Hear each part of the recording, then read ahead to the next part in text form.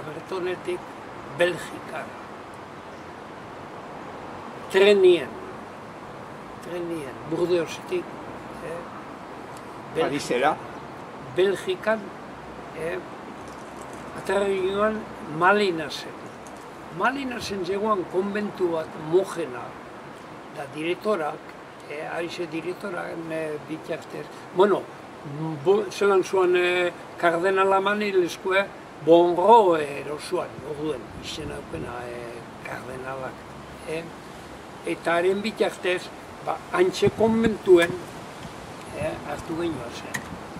Da, harek eh, konbentuek eh, zeukan etxe bat, eh, irupixoko ero. Da, behien, ba, sot, zera, zabala, zera, eskolien txemotuzkuia. Da, zeukan, ba, honen, honen tamaino inguruko zer bat, eh, olgetako moduen. Dantxe futbolin, da, pelota txiki bat, dantxe egiten dut zen. Dan geuker zen,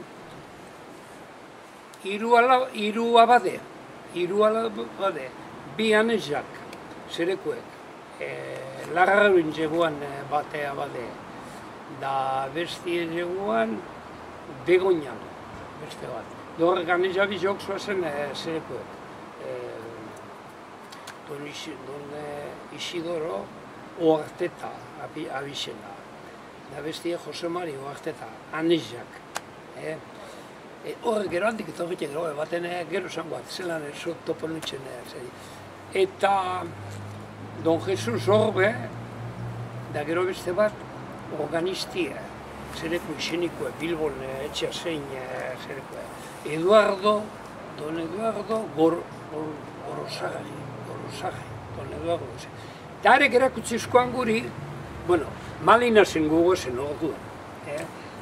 Baina Malina zen, eh, horrek abadioken honin eskenioa zen zitzen.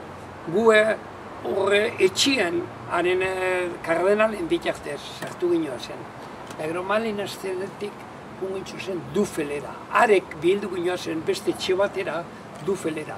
Eta horre lau abadiok, euskeldunek, eh, areto oso zen.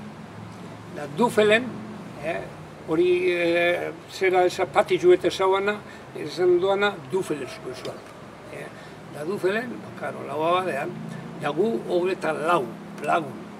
Eh, da hanik ezin genioan erderaz, ze han eh, zerekuek eh, mengo enkartazinoko jenti eta arek euskilez txekia. Eh, da arek abadiek, abadebik, emotuzkoian eskolia, eh, salbitxo baten, eh, dantxe ikusi, ikusi ginen erderaz.